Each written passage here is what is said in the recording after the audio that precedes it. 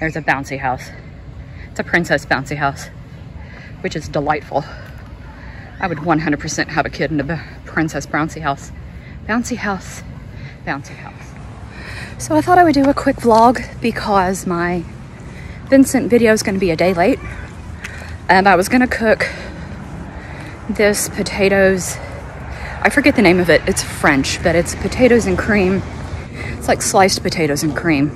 Yeah, so it's going to be a day late because I ordered pizza last night. And I was just tired and didn't feel like cooking. And I wasn't hungry because I ate half of a pizza. So I'm gonna do it today, maybe post it, step down, today or tomorrow, but it's coming up in the next couple of days.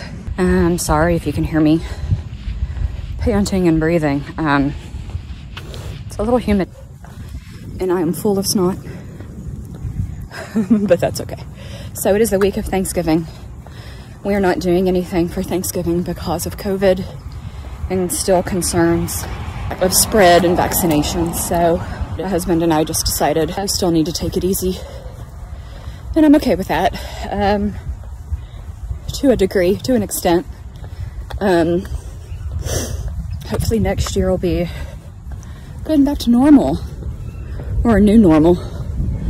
I am going to schedule a booster shot this week because I can.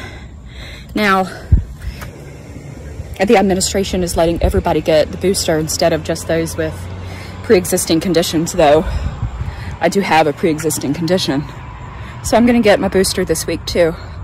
I'm taking some time off of work because I'm basically being forced to. Um, that's okay though.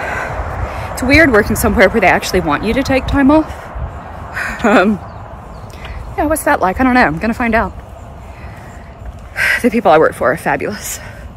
I'm very happy and I'm very fortunate to be where I'm at.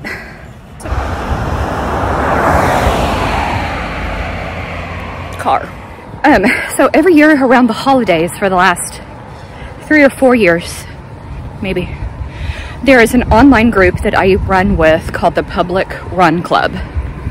And um, every year they do like a holiday six week long training group. They are exclusively online. So every year they do a Christmas thing and I'm doing their holiday run club Christmas thing. And it's like six days of just 30 minutes of activity, journaling, intuitive eating, good healthy stuff. So yesterday was supposed to kick that off, but I did not run yesterday because it was very cold.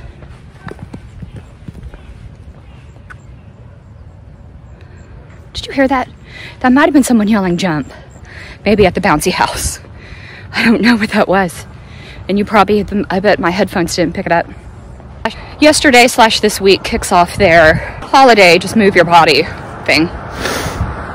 So I'm doing that. An attorney at my office did his first 10K yesterday, which I'm completely stoked about.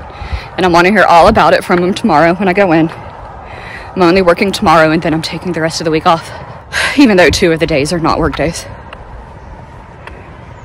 But yeah, so it's really just a quick running. It's overcast. Vincent's going to be a day or two late, but the recipe actually looks really good. It's not exactly a healthy one. None of them are mostly because of the butter and the cream. I don't do well with dairy. I'm gonna make it with oat milk so my insides don't explode because they will. But yeah, so Vincent will be a day or two late. And that's what's happening on this overcast Sunday. See you later.